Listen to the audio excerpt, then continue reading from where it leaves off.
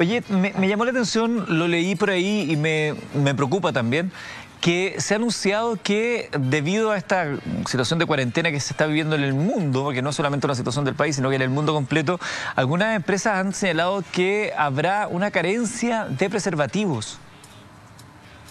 ¿Lo viste por ahí? No, no, yo está, yo lo que lo que estoy, lo que estoy observando con preocupación, que ya lo observé cuando fui a comprar antes de la cuarentena. Ajá la cantidad de alcohol que compraba la gente. es un gran tema, ¿eh? la, botillería ahí con fila y todo y eso. Exactamente, entonces uno piensa, yo inmediatamente pensé en el Chile, en el Chile en que yo nací y que las causas de muerte en las cárceles chilenas eran hepatitis alcohólica aguda provocada por el pájaro verde, que era una especie de whisky carcelario. Pero con, con pura que lo hacían con agua ras, con el, con el alcohol para disolver las pinturas, porque en ese tiempo, en el Chile pobretón y republicano en que yo me crié, los presos tenían, tenían ética y pintaban los chiqueros en que vivían y nunca prendían fuego y nunca armaban motines ni cosas que se le valen. María Luisa, creo que está siendo muy injusta considerando el nivel de celdas que vimos en unas cárceles recientemente con parqué, televisores, eh, parrillas, ah, refrigeradores. Pero, eso, son, no, pero esos son los, esos son los, los, que coimean, pues me estoy refiriendo al, estado llano. Mm. Sí, no, si te lo decía irónicamente, considerando esa vergonzosa información que conocimos en su momento de esas cárceles VIP, eh, ayornadas por sus propios dueños. Sin, sin, que nadie se diera cuenta, o sea, lo descubrieron como, como si fuese un, tesoro en el Amazonas. Oye, pero a mí me llamó la atención esto de los preservativos porque... No se preocupan de los oye, no se preocupan de los hospitales los fines de semana, se preocupan de las cárceles. Yo te decía que me preocupaba esto de los preservativos porque eh, no vaya a ser cosa que tengamos una explosión demográfica posterior a este encierro. No me digas que quieres volver, ahora quieres poner los miércoles sin censura. No, ¿por qué? Invítate al profesor Rosa para hablar de la cintura para abajo. No, pero es un tema de salud, una explosión demográfica, eh, producto del encierro, educación sexual. A veces de, de estar tanto rato encerrado es como, ¿qué hacemos ahora? Se fue la señal. Qué, conveniente. Se fue la señal. Aló, aló, aló, ¿me escuchas? Hola.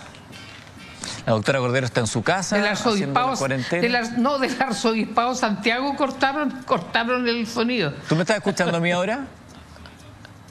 Sí, sí, ahora sí. Ahí sí me está escuchando, ya bueno. Oye, María Luisa, ¿qué otra cosa te ha llamado la atención dentro de la reflexión que te permite el, estar en tu casa y, pensar en otras cosas distintas? La, fragilidad, a ver, ¿cómo decirlo? Sin, ganas de ser odiosa, ni despectiva, ni, ni miradora en menos intelectualmente pero me, da mucha lástima la, conducta mm. promedio de mis, mis compatriotas, confusos, se tienen que dejar pautear, no tienen su propia opinión. Si tú no pagaste el permiso de circulación y te venció, tienes hasta el 30 de junio para pagarlo. No, todos se vuelcan a las calles a pagar el permiso porque me, van a cobrar multa e intereses. Es que, perdón, Yo con mucho cariño a mis compatriotas, déjame terminar, ya te paso la palabra. Les digo que las multas son risibles. Usted dice, ay, que la doctora Viguera el barrio No, son, yo soy una persona que, que tengo sentido de ahorro. Era risible. Yo dije, mira, tanta tontera, tan preocupada que está y era una cosa risible, queridos compatriotas, nos sacan mucho más plata en otras cosas. Yo estoy medianamente de acuerdo contigo en lo que acabas de decir.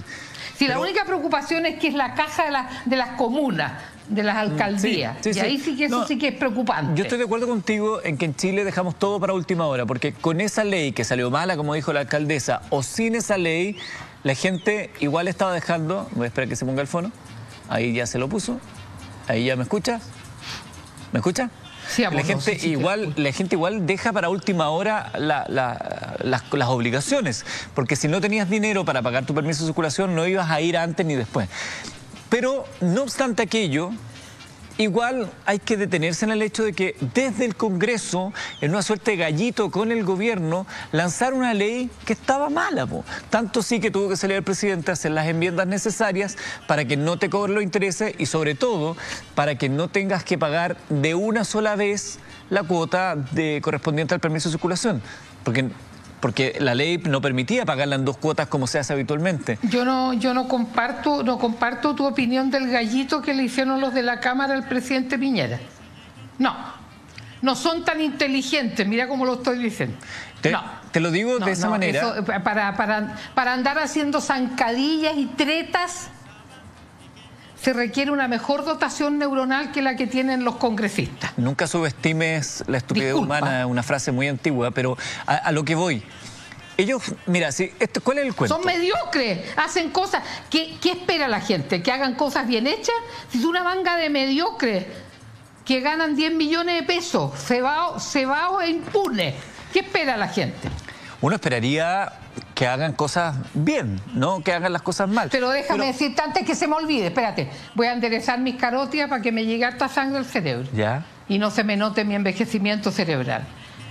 Pero todo esto se hubiera ahorrado si la fantasmagórica ministra de Transportes hubiera preparado con la debida antelación los pagos de permiso de circulación en connivencia con los dirigentes de la Asociación de Municipalidades. Pero toditos aquí en Chile tienen el síndrome de las vírgenes necias. Lean, lean, la Biblia, las que se le olvidó ponerle aceite a sus lámparas. A ver, pero cuéntanos esa historia, porque no todos tenemos una Biblia a mano para leer. no, que lo lean. Mauro ya se la fumó la. Leer, ¿Ah? No, no, no, no, no, no me metas a mí que lo busquen en la Biblia, qué sé yo. Ya, pero que algún pastor evangélico lo explique en la red. Pero cuéntanos la Virgen es necia, se le apagaron las lámparas. ¿Por qué no le pusieron qué? Aceite, pues en la época de los chonchones, pues Eduardo. María Luisa, no me levantes la voz que no estamos peleando.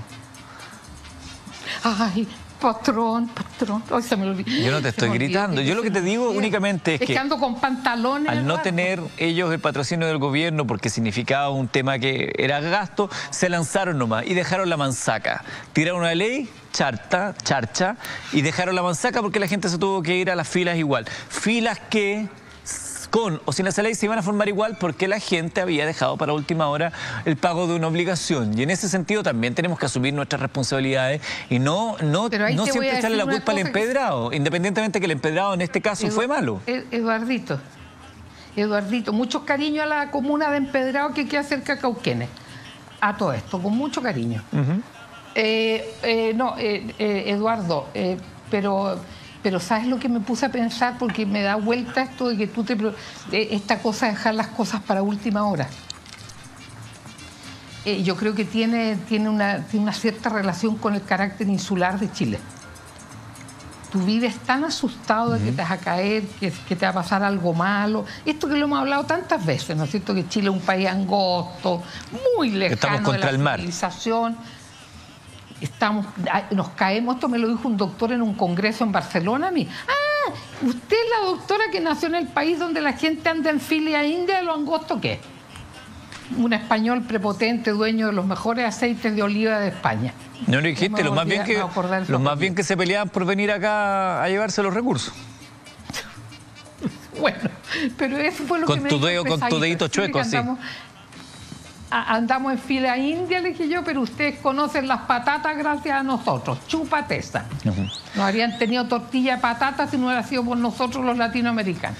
Ahora, Entonces, nosotros tenemos un sentimiento de, que, o sea, de, urgimiento interior que nos quita capacidad para reflexionar. Bueno, churra. Yo no he pagado mi permiso de circulación, Eduardito. Ah, por eso te molestó tanto lo de la última hora para, para, para, no, no, se me olvidó nomás, porque, porque tenía deseos de, darlo a una comuna más pobre, pensaba pegarme un pique acerca de la radio Aguachurado, y en eso se me dio el tip y no lo pagué.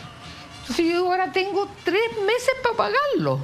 tres meses para pagar. Lo puedes pagar yo online. trato de pagarlo municipalidades pobres, pobres porque yo vivo en, Las Condes, entonces eh, la BIN tiene mucha plata y de repente la despilfarra en lecera. ¿Me entiendes, Carlos? Si yo le voy a dejar a, la comuna Huechurá, ponte tú cuántas cosas pueden servir con mi pago, porque yo la pago al tiro. En una sola cuota me sacrifico y pago la cuota completa del auto que tengo. Bueno, yo lo saqué en Curepto.